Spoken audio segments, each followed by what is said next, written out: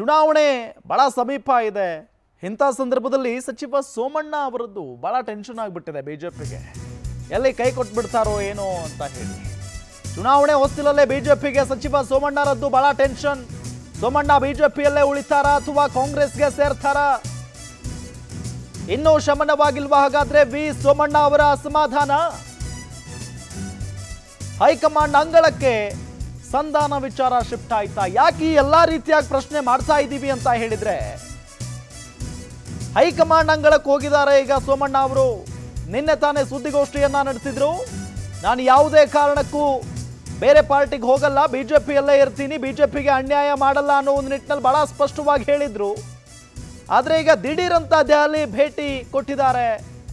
ಹಾಗಾಗಿ ಬಹಳ ಕುತೂಹಲ ಮೂಡಿಸ್ತಾ ಇದೆ, ಇನ್ನೂ ಅಸಮಾಧಾನ ಶಮನಗೊಂಡಿಲ್ವಾ ಹಾಗಾದ್ರೆ ಅಂತ ಹೇಳಿ.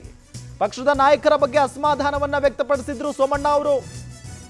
ಬಿಎಸ್ವೈ ಪುತ್ರನ ಬಗ್ಗೆ ಬಹಳಷ್ಟು ಅಸಮಾಧಾನ ಇದೆ ಸೋಮಣ್ಣ ಪುತ್ರ ಅರುಣ್ ಅವರಿಗೆ.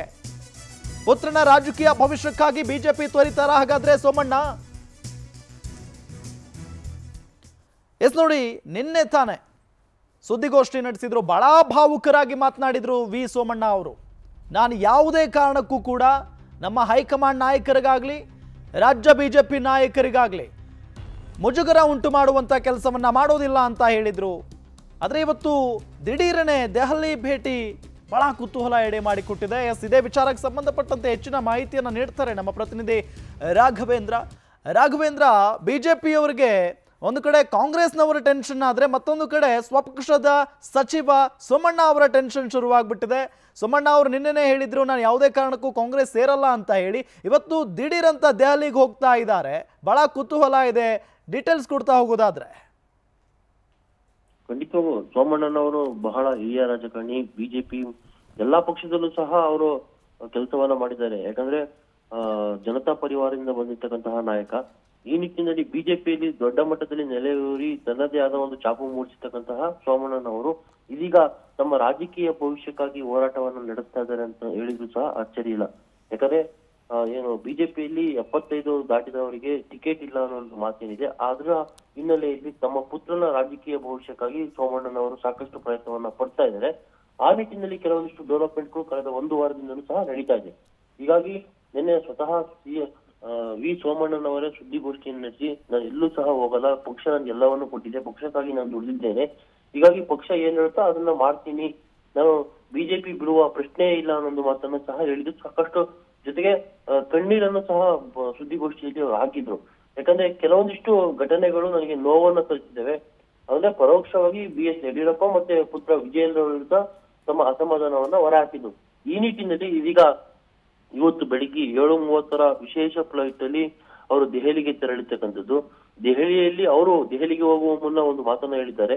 ನಾನು ಪ್ರಹ್ಲಾದ್ ಜೋಶಿ ಅವರನ್ನ ಏನು ನಮ್ಮ ಇಲಾಖೆಯ ಕೆಲಸದ ವತಿಯಿಂದ ಭೇಟಿ ಮಾಡಿ ಸಂಜೆ ವಾಪಸ್ ಆಗ್ತಾ ಇದ್ದೇನೆ ಅನ್ನೋ ಮಾತನ್ನ ಹೇಳಿದ್ದಾರೆ.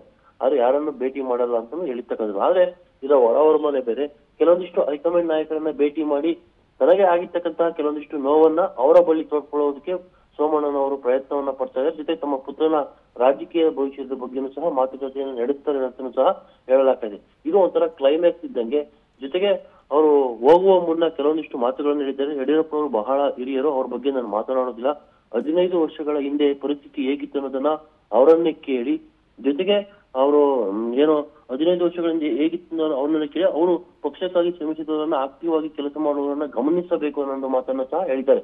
ಯಾಕಂದ್ರೆ ಯಡಿಯೂರಪ್ಪ ಅವರು ಮುಖ್ಯಮಂತ್ರಿ ಆದಂತಹ ಸಂದರ್ಭದಲ್ಲಿ ಸೋಮಣ್ಣಗೆ ಸಾಕಷ್ಟು ಕಿರಿಕಿರಿ ಆಗಿತ್ತು ಅನ್ನೋದನ್ನ ಪರೋಕ್ಷವಾಗಿ ಈಗ ಅವ್ರು ಕೋರಿಕೊಂಡಿರ್ತಕ್ಕಂಥ ಈ ನಿಟ್ಟಿನ ಎಲ್ಲಾ ಮಾತುಕತೆಗಳನ್ನ ಹೈಕಮಾಂಡ್ ಲೆವೆಲ್ ಆಡಿ ಅಲ್ಲಿ ತಮ್ಮ ವಿಷಯವನ್ನ ತಿಳಿಸುವ ಮುಖಾಂತರ ತಮ್ಮ ರಾಜಕೀಯ ಭವಿಷ್ಯದ ಸೆಟಲ್ ಅನ್ನ ಮಾಡ್ಕೊಳ್ಳೋದಕ್ಕೆ ಇದೀಗ ಮುಂದಾಗಿರ್ತಕ್ಕಂಥದನ್ನ ನಾವು ಗಮನಿಸಬಹುದು ಓಕೆ ಥ್ಯಾಂಕ್ ಯು ರಾಘವೇಂದ್ರ. ತಮ್ಮೆಲ್ಲ ಮಾಹಿತಿಗಾಗಿ.